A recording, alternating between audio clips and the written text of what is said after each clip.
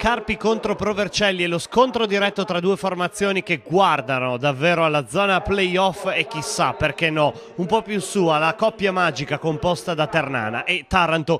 L'inizio conferma le difficoltà dell'incontro perché c'è un'azione un po' confusa in area del Carpi, sbaglia la difesa, arriva un tiro cross di Espinal, attento Bastianoni a smanacciare oltre la traversa poi inghippo numero uno per Notari Stefano, si fa male Calamai, schierato oggi alto a sinistra, entra Marchi, giocherà bene ma fuori ruolo. Poi Carpi che prova a reagire col colpo di testa di Eusepi, finisce alto, sempre 0-0, siamo al dodicesimo minuto all'incirca. E allora si fa pericolosa la Provercelli, c'è il cross di Bencivenga, arriva colpo sicuro, il colpo di testa di Espinal smarcato a centro area, spedisce fuori praticamente un match point. E poi la solita punizione di Memus Memushai, specialità della casa, ancora Memushai, innesca il colpo di testa di Cioffi, palla in mezzo per Apoli, pallone che anche in questo caso finisce fuori. Al ventottesimo, poi arriva il vantaggio per il Carpi, guardate che cosa combina Ranellucci, difensore della Provercelli, mette nella propria porta sul colpo di testa di Poli, cercava di eh, liberare l'area praticamente, di anticipare addirittura il portiere Valentini, mette nella propria porta, il Carpi ringrazia, vola sull'1-0 al ventottesimo minuto, grazie davvero ad una disavventura del difensore della Provercelli, poi grande azione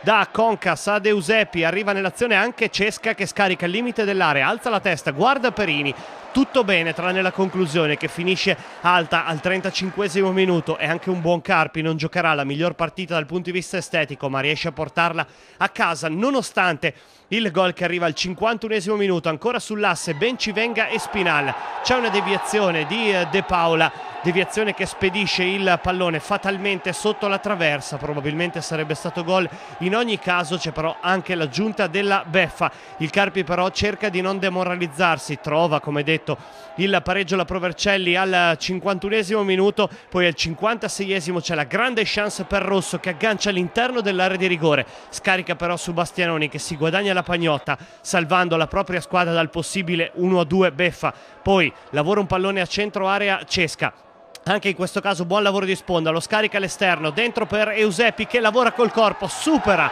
il diretto avversario e va a mettere dentro con la complicità del palo il gol del 2-1 al 63 minuto, benissimo in questo caso Umberto Eusepi che mette dentro il gol del vantaggio del Carpi dopo aver... Forse eh, salvato il risultato con Bastianoni. Il Carpi trova la rete del 2-1 nel finale. Altra occasione, questa volta per Rosso che arriva a rimorchio, cercato da Tripoli. Non inquadra lo specchio della porta. Il Carpi, il Carpi vince 2-1. Grande Carpi, terzo abbondantemente in zona playoff.